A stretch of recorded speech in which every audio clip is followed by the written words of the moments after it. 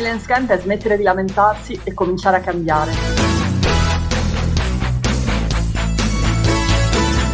Una meravigliosa idea e soprattutto bellissime relazioni per essere sempre più free ma sempre più in rete.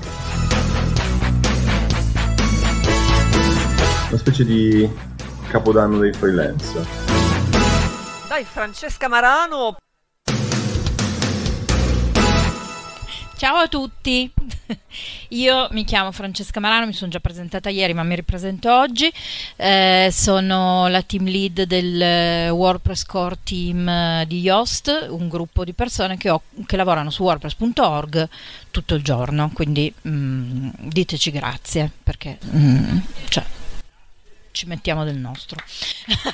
Scherzo.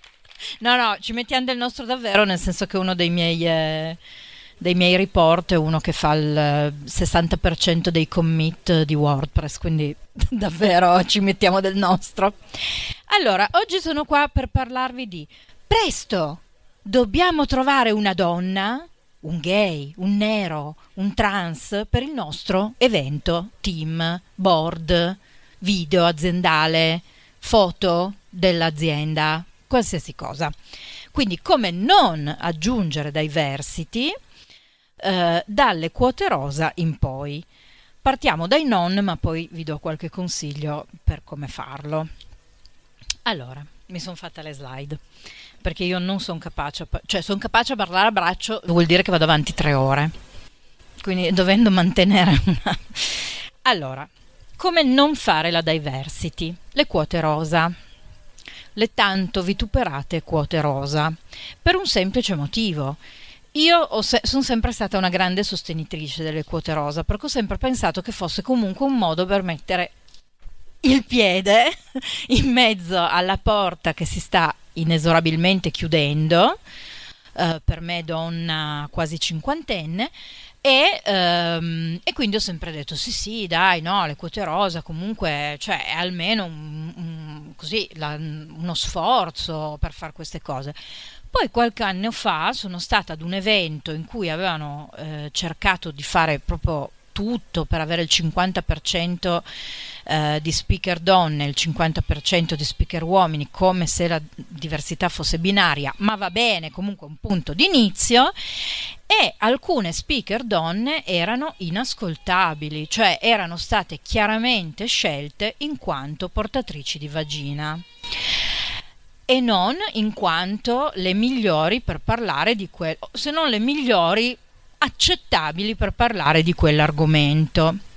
Quindi le quote rosa sì, ma come fa la qui presente Giulia Tosato a WordCamp Verona, che hanno sempre aggiunto, raggiunto la parità uomini-donne, facendo un percorso di mentoring eh, per eh, le relatrici che eh, è molto molto impegnativo. Quindi eh, insomma prima di mandarle sul palco solo perché appunto vagina munite vengono preparate e vengono incoraggiate eh, a raccontare una cosa di cui loro siano effettivamente esperte. Quindi le quote rosa fatte così no L'altra cosa è l'outing non condiviso.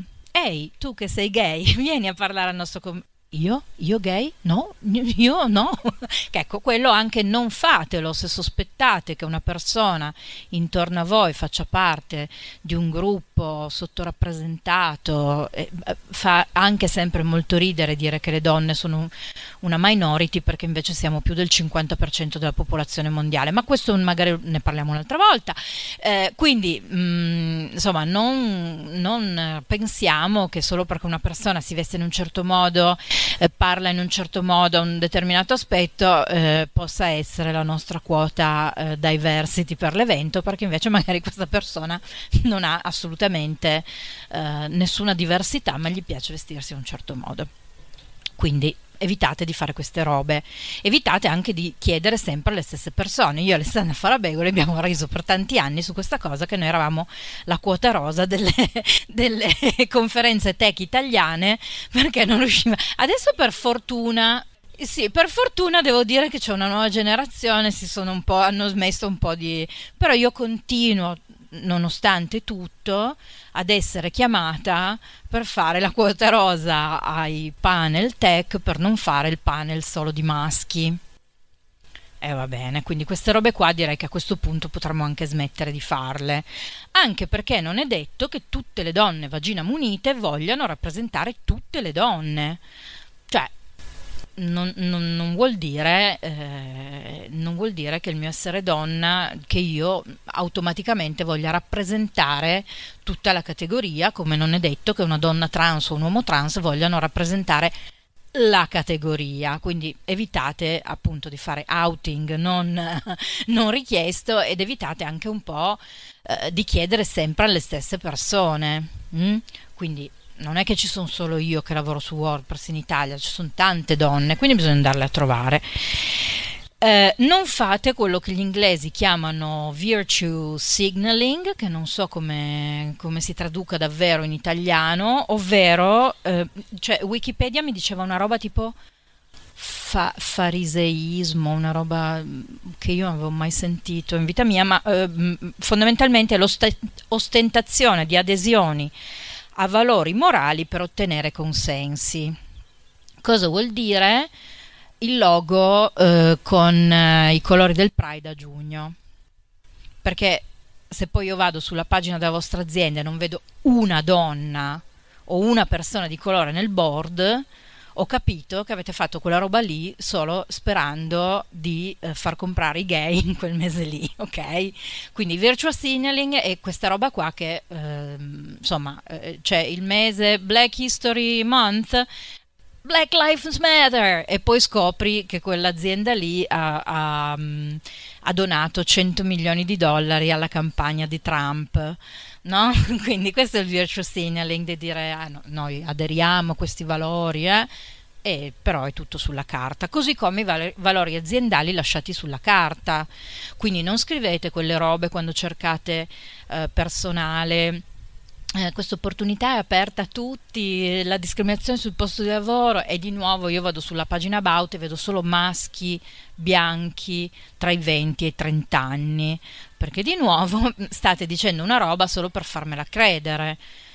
E soprattutto se io anche avessi tutte le caratteristiche per venire a fare quel lavoro lì, difficilmente in quanto unica donna, appunto quasi cinquantenne, avrei voglia di venire a lavorare in un posto in cui tra i perk c'è il tavolo da ping pong perché a me mi si stira subito il gluteo, vista l'età, e quindi figurati se per me quello è un perk. Invece se mi dai la stanza in cui fare il pisolino dopo pranzo, oppure non lo so, fossi ancora in età di, di, figli, avere la stanza per l'allattamento sicuramente è una roba più importante che non avere il ping pong. Ok? Quindi mi raccomando i valori aziendali, ma anche di voi come freelance. Uh, cioè, poi mh, mm, scrivete solo robe nelle quali credete davvero, perché adesso devo dire che tutto il movimento, soprattutto del femminismo intersezionale, è abbastanza incazzato su queste robe. Quindi tutte le volte che vengono beccate le aziende, i freelance o, o chiunque altro a fare queste robe, si scatena il putiferio e mh, mm, quindi non fatelo. Eh, per gli eventi in particolare, eh, se c'è un codice di condotta e poi sono tutti ubriachi, sversi sotto il palco, insomma quel codice di condotta lì non è che avesse un grande valore. E, ed infine appunto non chiamare sempre le stesse persone, quindi ripeto, oltre a me Alessandra e Miriam che adesso siamo anche un po' stanche, diciamo la verità, e poi siamo molto care, quindi mm, ci sono anche altre donne da chiamare.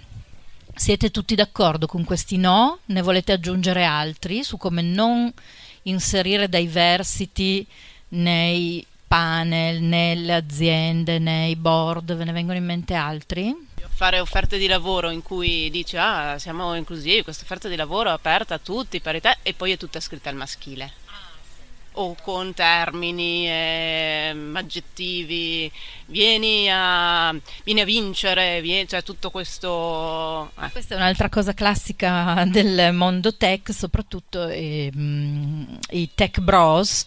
Eh, alla Elon Musk che sono sempre lì a misurarsi il pisello sempre, sempre. Io vado su Marte. Ravvedimento peroso. Io vado su Venere, che non ci siamo ancora arrivati. Però sai che c'è? Io sono Bezos, tu vai su Marte, adesso ti faccio vedere io, io vado su Saturno. Ravvedimento peroso. Ecco, e, e, e, gli annunci di lavoro, per fortuna in inglese, io lavoro eh, solo col... Um, non, non lav- ma anche quando facevo la freelance non è che lavorassi tantissimo in Italia, quindi questa roba in inglese è un po' meno, un po meno evidente, ma effettivamente in Italia, ehm, che è una lingua non neutra, ehm, è molto evidente. Quindi sì, ecco, mi raccomando, insomma, adesso su questo tema qua anche c'è tanta consapevolezza, quindi mh, mm, e poi come sempre se non siamo capaci facciamoci aiutare, ci sono oramai in Italia diverse figure di copywriter che si occupano soprattutto di linguaggio eh, inclusivo, quindi soprattutto faccio una marchetta alla Lice Orru che non c'è ma eh, va sempre raccomandata, quindi se avete bisogno di qualcuno che vi riguardi i testi, ecco, eh, Flavia Brevi che però non so se, se, fa la copy, lei lavora in azienda, Vera, Gheno che però si occupa più di progetti editoriali grossi, insomma, insomma cioè, adesso ce ne sono già un po' di persone in grado di aiutarvi anche all'interno degli eventi poi ci sono delle cose proprio molto, molto tipiche degli eventi, qualcuna l'ho segnata, qualcuna poi la segniamo magari insieme sul, um, sul gruppo. Adesso prendiamo le donne per il nostro evento e poi però alle donne gli diamo lo slot o l'ultimo, così tutti già, sono sfranti, non hanno più voglia, o la mattina, così um, ce la togliamo e poi tanto saranno ancora tutti sversi dalla festa della sera prima che nonostante il codice di condotta dica di non ubriacarsi in modo selvaggio, tutti si ubriacano, quindi la mattina non c'è nessuno e infatti a me mi danno sempre il primo slot. È un classico, oramai sono abituata e vabbè. Allora cosa fare? Prima di tutto una roba che in inglese si chiama show, don't tell, e che non saprei tanto anche questo tradurre, cioè lead by example, fatti e non parole, fatti e non pugnette. Eh, fatti e non pugnette, ecco. Ecco, quindi mh, mm, invece di fare il pippone con la pagina sulla diversity e il codice di condotta, che comunque vanno fatti, comu- la diversity a sé, tutte queste robe qua vanno comunque fatte, però poi farle davvero prima di tutto e poi fare dei piccoli gesti, questo soprattutto eh, agli eventi, che raccontano eh, l'evento molto più della pagina in cui c'è il, ehm, così, la dichiarazione di intenti. E mi viene sempre in mente qualche anno fa eh, c'è stato questo WordCamp Europe, eh, Word, i WordCamp sono gli eventi ufficiali della community WordPress e eh, fino a quando ci si poteva incontrare di persone se ne faceva uno molto grande che riuniva tutte le community europee. E qualche anno fa io ho fatto parte di, dell'organizzazione di questo evento a Parigi e eh, i palcoscenici non avevano la rampa eh, per la sedia a rotelle e nonostante noi non avessimo nessuno che aveva dichiarato di aver bisogno di, di una rampa d'accesso, abbiamo scelto di spendere 2000 euro del budget per fare la rampa d'accesso, che nessuno ha usato. Ma non importa, perché chiunque sia venuto a, quella, eh, a quell'evento ha visto la rampa d'accesso e ha detto, ma guarda un po', se nel caso fosse la persona stessa su, mh, sulla sedia a rotelle, probabilmente ha pensato, vabbè, allora il prossimo anno magari mi propongo per questo evento perché si prenderanno cura della mia eh, disabilità. Oppure gli è venuto in mente un amico o un'amica eh, su una sedia a rotelle o con dei problemi di mobilità, ha detto, guarda, quel, sai quell'evento? Ecco lì vai perché eh, è un evento che anche senza che tu dica perché non, non, non date per scontato che le persone abbiano una disabilità visibile o che la vogliano dichiarare. Cioè, uno può anche dire tenersele per sé, no? Le proprie cose. È evidente che se sei su una sedia a rotelle è molto evidente, ma ci sono un sacco di disabilità non eh, evidenti e non è detto che la gente abbia voglia di raccontarvi i casi propri. Ok? Quindi queste robe qua sono importanti agli eventi.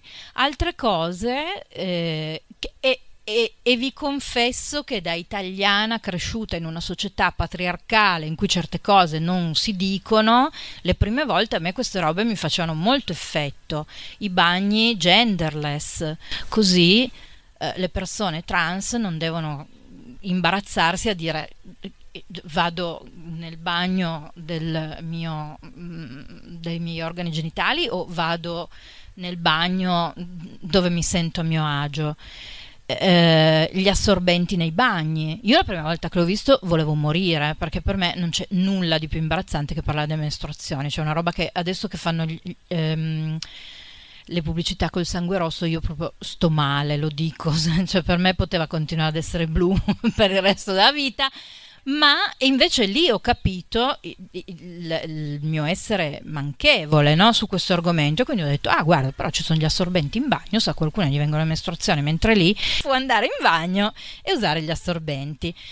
I menù, cioè teniamo presente che c'è della gente che non mangia la carne, ci sono i vegetariani, ci sono i vegani, ci sono i pescetariani, ci sono le uh, richieste di menù speciali in base alle religioni ci sarà qualcuno che vuole il pasto kasher? Non lo so, però io lo metto nel form di iscrizione, così se qualcuno vuole il pasto kasher non deve andare e eh, eh, non deve solo poter mangiare l'insalata scondita, insomma, che è il classico quando non ci sono alternative.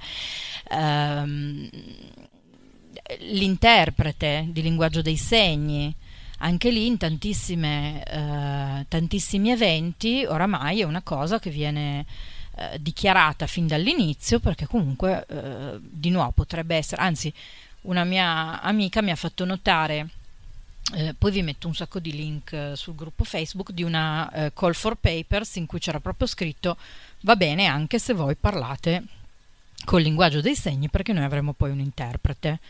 Quindi anche lo speaker stesso può, può, fare il proprio talk nel linguaggio dei segni e ci sarà poi invece una persona che darà voce, quindi i due spettri. Trascrizione dei talk, eh, quella è una cosa fondamentale per, per eh, garantire una diversità nel pubblico. Non tutti parliamo bene inglese, non tutti lo, lo, lo capiamo parlato, anche perché ci sono un sacco di, di accenti, ma se lo vediamo scritto di solito eh, insomma, qualcosa in più lo capiamo, quindi questa è una cosa sicuramente utile. Ehm, quindi appunto fare e non solo parlare e possibilmente anticipare i bisogni. Nelle aziende questo si traduce appunto di nuovo negli assorbenti nei bagni, la stanza per l'allattamento, i parcheggi illuminati così se sto fino, in, fino alle 10 in ufficio non devo aver paura tutte le volte di essere violentata tra l'ufficio e il parcheggio, eh, i congedi parentali, non solo, ehm, non solo, alle mamme. E queste sono tutti, tutte cose molto pratiche per aumentare la diversità e l'inclusione. In aziende molto grandi eh, si possono anche creare delle guild, quindi dei... Eh, come si chiamano le guild in italiano? Le gilde, le gi- grazie, eh, per cui eh, gruppi che si riconoscono in una diversità di un certo tipo possono far parte di un gruppo appunto omogeneo di persone che si riconoscono in quella diversità e si aiutano a vicenda. Quindi in aziende molto grandi c'è eh, la gilda LGBTQIA+, la gilda BIPOC, quindi uh, Black Indigenous People of Color, uh, Single Mothers, um, Asian descent, non lo so, tutto quello che vi può uh, venire in mente. E smetterla di pensare che qua in Italia siamo tutti italiani ehm, bianchi e bruni, perché è vero che i nostri governi negli ultimi 30 anni ci stanno provando tantissimo a fare in modo che gli italiani abbiano solo il mio aspetto, però ehm, anche in Italia dobbiamo smetterla di pensare che la questione di eh, discriminazione di genere, razza, colore, religione, no, ma figurati, noi no, no, ma noi, ma no, ma no, ma noi mica siamo i belgi che sono andati a fare lo sterminio in Africa, no, perché siamo delle pippe, quindi non ci siamo riusciti a farlo, però ci abbiamo provato, eh, cioè non, non non è che noi mh, in Etiopia e in Eritrea siamo andati a fare del bene, solo che siamo un po' pippe, quindi non siamo riusciti a fare i colonialisti veri, però ce la portiamo un po' dietro questa cosa e immagino che insomma i fatti di cronaca dell'ultimo mese parlano dell'ultimo mese, ma in realtà degli ultimi anni, è solo che ci dimentichiamo presto noi di queste cose, eh, parlano abbastanza chiaro sulla discriminazione di genere, colore. Uh, razza, religione, non parliamo poi delle religioni, tutte le volte che uno dice ah, apriamo una moschea nel quartiere, no! come se, no? E vabbè, quindi eh, ma la verità è che tutti questi sono tutti ottimi consigli, perché ve li ho dati io ovviamente, ma eh, la verità è che bisogna farsi un gran mazzo. Cioè che tutta questa roba, che anche una volta che avrete il parcheggio illuminato, la stanza per l'allattamento, il codice di condotta, eh, la, mm, non lo so, la rampa, i bagni, genderless, queste robe qua, poi bisogna iniziare, cioè questo è il prelavoro. Il lavoro vero è andare a parlare alle persone eh, sedendosi di fianco a loro e non di fronte a loro, quindi mh, mm, in una relazione tra pari e non in una relazione di te donna con i capelli rosa vuoi venire a fare la quota capelli rosa al mio evento? No, io mi siederò vicino a Giulia e dirò inizierò un dialogo in cui cercherò di capire intanto se a lei interessa fare la public speaker, perché anche questa roba qua, io continuo a farlo perché sono proprio F24 nera su questa cosa, quindi continuo ad andare a parlare a tutti gli eventi in cui mi dicono vieni a parlare di diversity inclusion. Sì, va bene, poi però vado perché lo sento proprio come un, un, una missione importante che io sto portando avanti nella vita, ma non è che tutti vogliano farla questa roba, quindi no? Mi siedo vicino a Giulia e dico, te, inizio a parlarle, inizio a conoscerla, ma hai mai pensato di parlare ad un evento? Cioè, praticamente tre quarti delle donne speaker italiane le ho cuccate così agli eventi, perché io lo dico sempre, gli eventi sono uno schema Ponzi, quindi tu entri, tipo multilevel marketing, tu entri, capisci di essere l'unica vagina munita e quindi... Uh, ah, Ciao, ma tu hai mai pensato di parlare? Ma tu cosa fai? Ma hai mai pensato di parlare ad un evento? No? Perché no? Ah, no, guarda, mh, mm, a questo ci sarebbe questa soluzione. Comunque, se vuoi, chiamami, eh, quando vuoi, io sono sempre disponibile. E quindi bisogna fare quella roba lì, che è molto faticosa, è molto faticosa e prende un sacco di tempo però bisogna farla perché è l'unica cosa che davvero funziona perché continuare a chiamare noi tre adesso anche basta, insomma.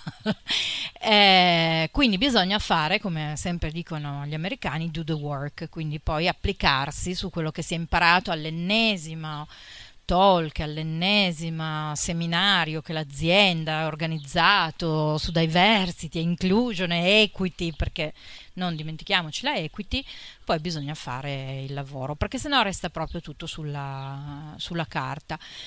E concludo raccontando un, un, un episodio molto cringe, eh, perché purtroppo eh, è lì che, che spero di così, coinvolgervi attivamente. Io ho una cara amica americana che negli ultimi tre anni ha cambiato tre aziende tech, tutte aziende che durante il Black History Month tutto black, tutto empower small business owner, black ah, durante il um, Pride siamo qua per i nostri fratelli e le nostre sorelle, il gender fluid, ah. cioè questa qua, aziende grosse, eh, non il salumaio ehm, di Pavia mh, mm, che magari fattura milioni ma sono cinque fratelli a scuoiare i maiali tutti i giorni, quindi aziende proprio grosse che, che, che, fanno, che spendono milioni in seminari di diversity e inclusion nelle loro aziende. Questa qua tre volte, una programmatrice bravissima, ha dovuto mollare questi posti perché i suoi capi maschi le facevano ghosting, le facevano gaslighting, le facevano, non la invitavano insomma alle riunioni, era sempre quando si facevano le performance review, era sempre non si sa come quella che performava peggio di tutti. Uh, quindi mh, mm, attenzione che sono tra noi. e in realtà anche se potete impegnarvi in prima persona con degli atti piccoli ma pratici, fatelo. Um, Yoast, che io oggi sono, non, non sono venuta a vendervi Yoast, però mh, sono venuta a, a, raccontarvi anche un po' di cose che stanno facendo le aziende all'estero, perché secondo me c'è da ispirarsi. Quando sono finiti gli eventi on, eh, di persona, quindi come diceva Fabrizio c'è il budget da, da, ridistribuire, un po' è stato ridistribuito in eventi online e un po' è stato distribuito in fondi per la diversity, in cui tu ci scrivi e dici io voglio contribuire a MongoDB e sono un uomo nero di 47 anni del Mississippi. Mi dai un mese di stipendio così io invece di dovermi cercare dei clienti posso dedicarmi un mese a MongoDB o ad un altro progetto open source? Eh, sì, tieni. Cioè, quella è una roba da fare. Se, la, se l'azienda per la quale lavorate Mm, ha l'opportunità di farlo, quello è il solito show don't tell. Io nel mio piccolo tutti i mesi dono eh, 150 dollari a ma- maintainers di progetti open source, eh, donne o non binary e dono a girls, Black Girls Code. Cioè, queste sono anche robe molto, molto pratiche, molto piccole, ma che, ma che aiutano e che anche noi come freelance possiamo fare per fare e non solo parlare e farci il bollino, bollino Pride a giugno. Ciao, grazie.